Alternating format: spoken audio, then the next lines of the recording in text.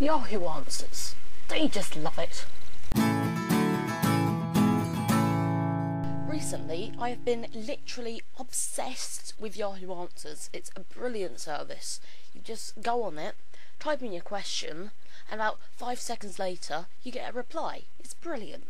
It, and the questions on there range from, oh, uh, what shoe should I wear, to really kind of serious questions, and, you know, oh, do you find this joke funny? Stuff like that. It's brilliant. These gloves, or these gloves. These ones. I think my girlfriend's cheating on me. What should I do? Slap her in the face! Does this shirt look okay? No. Do you have any piercings? Yes. Yes, I do. Don't you just love Wally? No, not really. I can't access my emails. What should I do?